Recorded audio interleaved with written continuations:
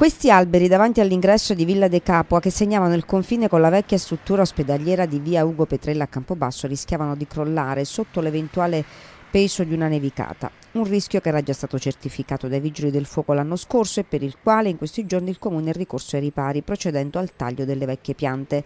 taglio che sarà ovviamente sostituito con l'inserimento di nuove alberature, ha spiegato l'assessore al ramo Stefano Ramundo, ma da ispezioni eseguite quelle piante erano ormai deteriorate e potevano rappresentare un pericolo concreto e molto serio per pedoni e automobilisti, era dunque urgente intervenire.